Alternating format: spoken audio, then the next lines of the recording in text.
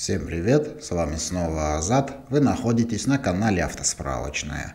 Я напомню, что еще в 2022 году пошли первые разговоры о запуске совместной общей системы по ОСАГО между Россией и Белоруссией.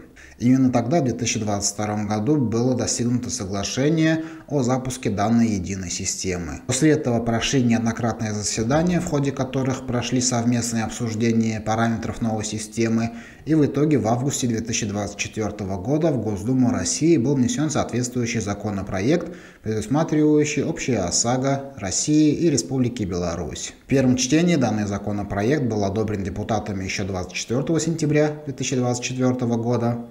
Сегодня, 26 ноября 2024 года, депутаты одобрили данный законопроект сразу во втором и в третьем окончательном чтении Госдумы. Данные поправки в первую очередь будут полезны тем водителям, которые часто передвигаются по территории соседней страны. К примеру, ездят в командировки, ездят в гости к родственникам и так далее.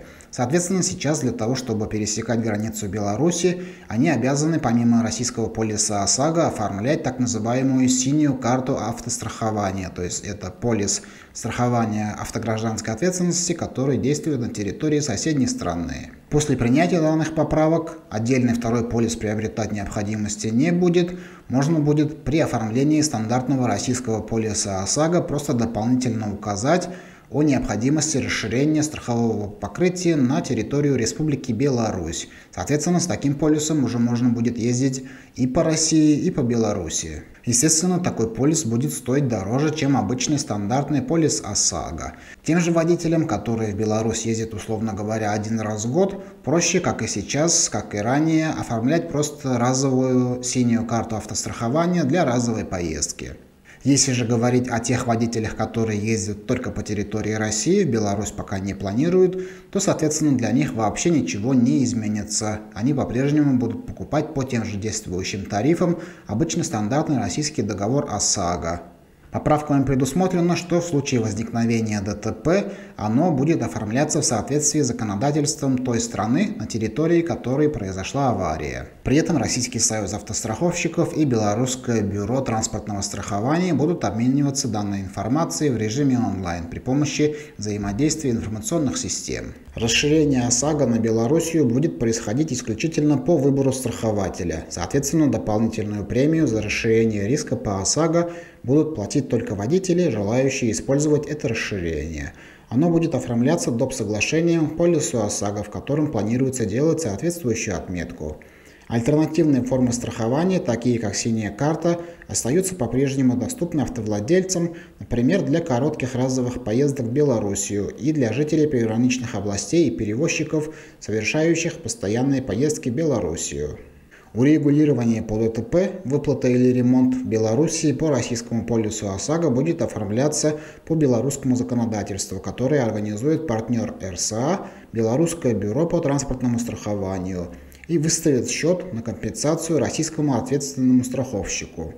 Целях синхронизации со сроками законодательных изменений с Белоруссией профильный комитет Думы рекомендовал срок вступления в силу соответствующего закона 1.01.2025 года, рассказал президент Российского союза автостраховщиков Евгений Уфимцев.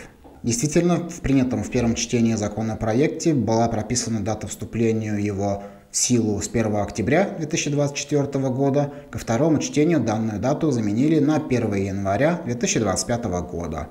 Однако, несмотря на то, что данные поправки, даже если успеют подписать, они действительно вступят в силу 1 января следующего года, по факту пользоваться данной системой можно будет чуть позже. Об этом опять же рассказал президент РСА Евгений Уфимцев. После принятия понадобится не менее трех месяцев для приведения в соответствие иных нормативных актов и внутренних документов, доработки инфраструктуры информационного взаимодействия между национальными автоматизированными системами страхования двух стран целях обеспечения возможности выдачи электронных полисов ОСАГО с расширением на Белоруссию и проверки их действительности на дорогах в другой стране или при ДТП в режиме реального времени, как это предусмотрено модельным актом и законопроектом, пояснил Уфимцев. Соответственно, теперь одобренный Госдумой в окончательном третьем чтении законопроект направит Совет Федерации, после чего положат на подпись президенту.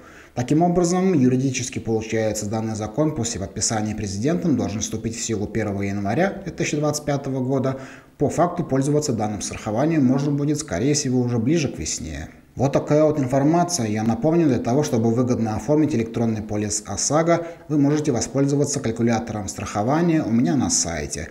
Там на одной странице вы можете сравнить предложения от большинства страховых компаний России для обычных автомобилей, автомобилей такси и мотоциклов, выбрав наиболее выгодный именно для вас вариант страховки. Ссылка будет в описании. Надеюсь, видео было для вас полезным, интересным. Спасибо, что досмотрели его до конца. Своим мнением по этой теме вы, как обычно, можете поделиться в комментариях. Чтобы не пропустить следующие видеоролики, не забудьте подписаться на этот канал, а также на другие площадки моего проекта в соцсетях. Все ссылки оставлю в описании. Желаю всем безопасных дорог и всем пока.